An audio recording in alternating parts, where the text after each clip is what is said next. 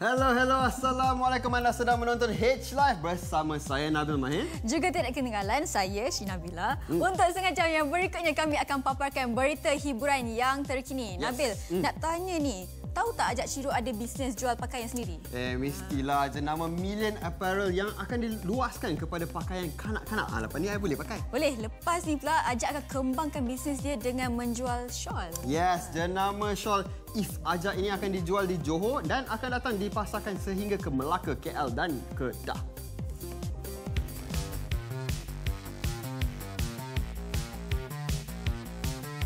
Bersama saya adalah salah seorang pelawak terkenal di Malaysia. Ha, iaitu Ajak Syiro. Apa khabar Ajak? Ya, sihat. Alhamdulillah, sihat. Alhamdulillah. Okey, kita tahu sekarang ni kumpulan Syiro busy dengan Maharaja Lawak Mega 2014.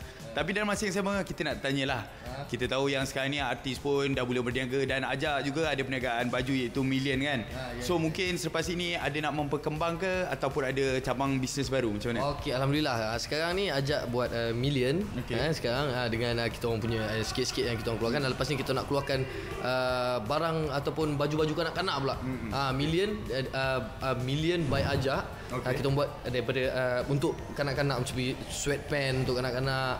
Uh, jadi uh, lepas tu 14 hari bulan ni okay. Ajak ada pula launching untuk shawl. Shawl pula? Shawl. Ajak pakai nama Ifaja kat situ. Okay. Ajak punya brand Ifaja.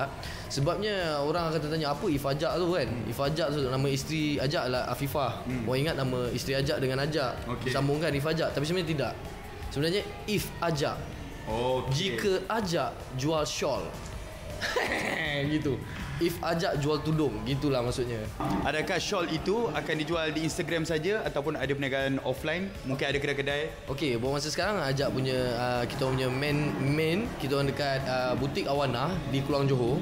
Dan lepas ni kita akan uh, masuk ke kedai-kedai uh, lain. Kita akan besarkan di Melaka, uh, Kuala Lumpur dan juga Kedah lah insyaAllah ini tiga negeri ni eh, yang kita dah ada kontak lah untuk kita terus uh, bagi kita punya shawl tu So apa kelainan yang uh, Ajak bawa dalam shawl Ajak ni? Mungkin Ajak design sendiri ke atau macam mana? Okey, design dia uh, bagi shawl ni idea daripada Ajak. Hmm.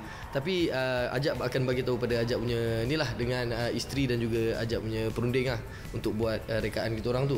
Uh, buat masa ni shawl kita tak tak boleh banyak sangat sebab kita sedang kita duduk kat Malaysia kita kena buat yang uh, fashion yang ala-ala je. Ajak punya shawl tu shawl uh, biasa-biasa je lah. Tapi kualiti bukan biasa-biasa.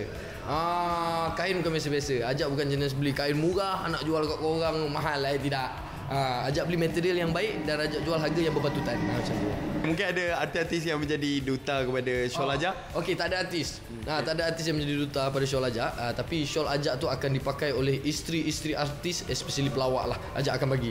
Ha, sebagai uh, souvenir untuk support Ajak punya ni lah. Ha, itu je.